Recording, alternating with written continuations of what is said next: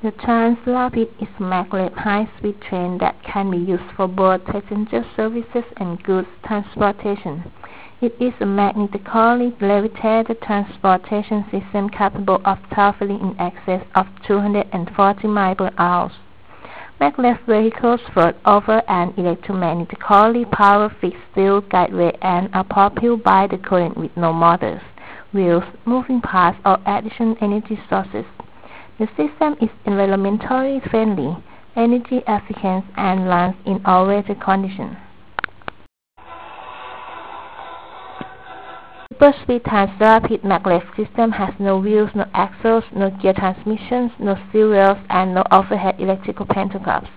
The maglev vehicles do not roll on wheels. Rather, they hover above the track guideway, using the attractive magnetic force between two linear islands of electromagnetic coils one side of the coil on the vehicle, the other side in the track guideway, which function together as a magnetic dipole.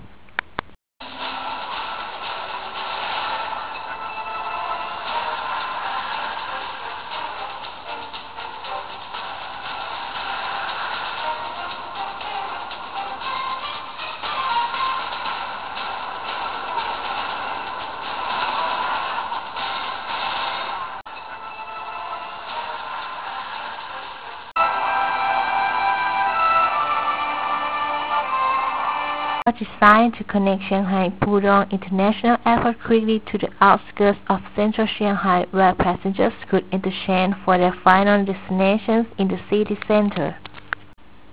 To accelerate from a standing start to 300 km per hour, the Transrapid needs approximately 5 km of guideway.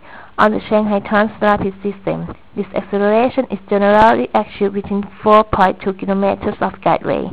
In theory, the system could be adjusted to at least double the acceleration, but lower levels are maintained in practice to ensure passenger comfort.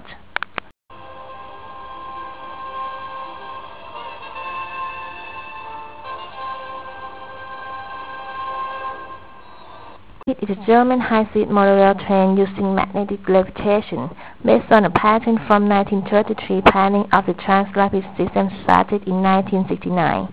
The test facility for the system in Emsland, Germany was completed in 1987.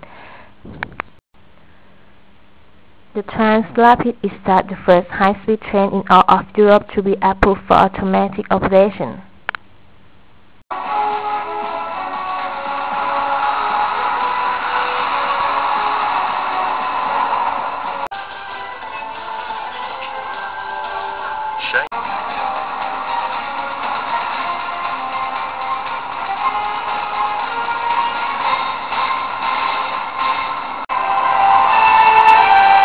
Video is over now. Thank you for your attention.